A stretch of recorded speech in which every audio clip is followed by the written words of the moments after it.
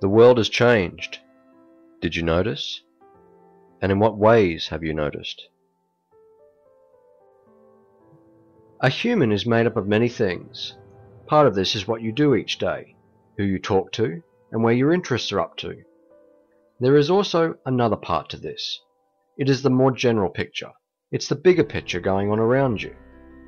You were born with a brain and a mind, an emotional state, a physical state, and ways to interact with your personal and general environment. Most of the time, though, people seem to take these for granted. Intuition, for instance, gives way to facts, and many forms of understanding all of this tends to have to take a back seat to other things, usually worldly things.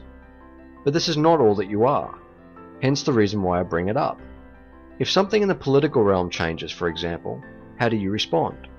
If the cost of living rises again, again, how do you respond? If something to do with work changes, how do you respond?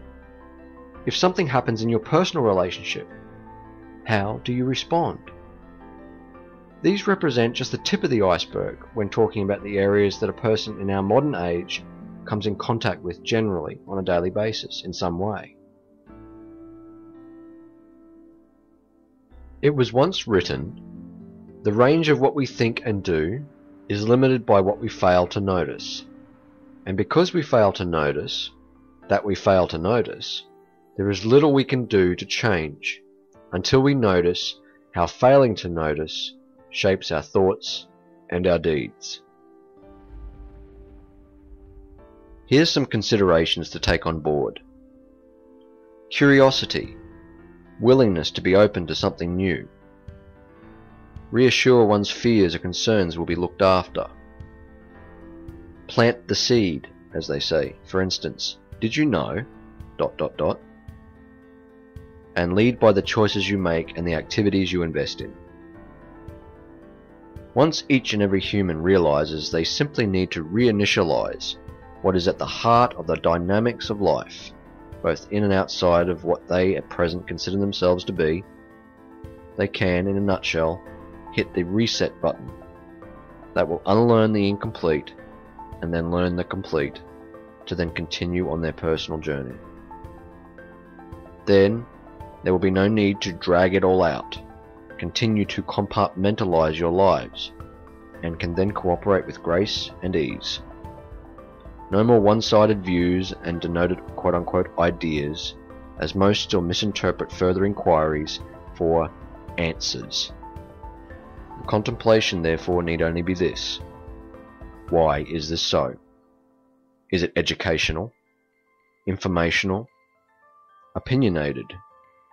Transgression? mirrored, sideswiped, or perhaps something else. You know the host has reached the peak of any type of experience-based learning curve when it is abundantly demonstrating the negative extremes of those experiences.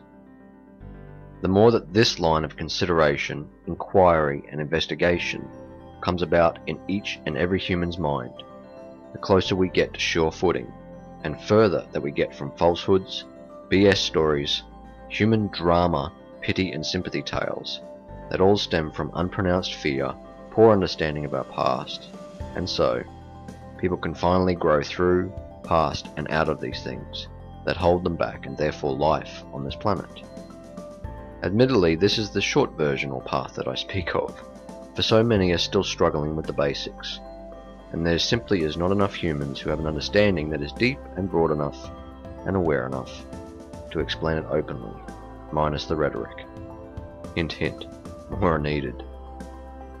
Recycled actions of the past will only ever produce the same in kind as a result, no matter whether it be direct or indirect.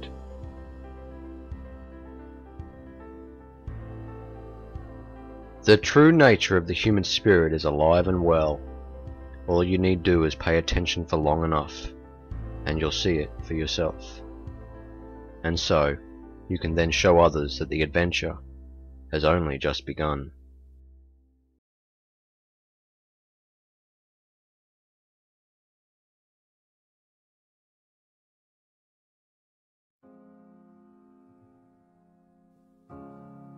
To be a student of all things does not mean you need to learn everything and therefore know everything. It refers to the simple and very effective ways and means to see yourself, other people, the animals and plant life, the cities and towns, and even the technology we have generated for our use, and therefore their involvement in what we call life. All with the foundation of something where all our beliefs and interests merge to create the complete picture that offers each one the options of how it wishes to be expressed. When you come to truly, and I mean truly, respect and understand this, there will be no need for knowing everything or anything, for the insecurities of your place will have no way to gesture for your approval. Now some may believe that this is baggage, that it is unnecessary.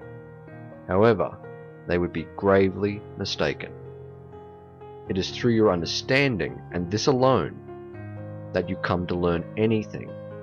Not just take on board information and catalogue it in your head, but truly embrace all that it has to offer. Then, not only are you on a different path, but you have learned.